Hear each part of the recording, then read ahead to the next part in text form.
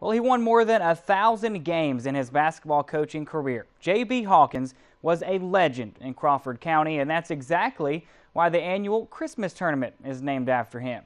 Home of the Eagles, Peach County and Central tonight. Peach County in the black, Central in the white. Third quarter, Central up nine. They're going to work it down to Sire Davis here, and he's going to get the shot up. It's good and one. He made the free throw, and Central's lead was six. Here they come again now. Peach County working with it again. And look at this pass that's coming up by Patrick Clark.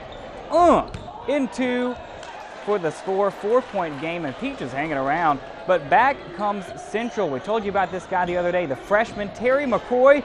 Oh, that was just too easy, and the Chargers are up eight. All right, Peach County trying to hang close here, but they shoot an air ball. McCoy with the rebound, and he's going to find DJ Hill at the other end. Central hangs on to drop Peach County to 500. The Chargers win tonight 74 to 66.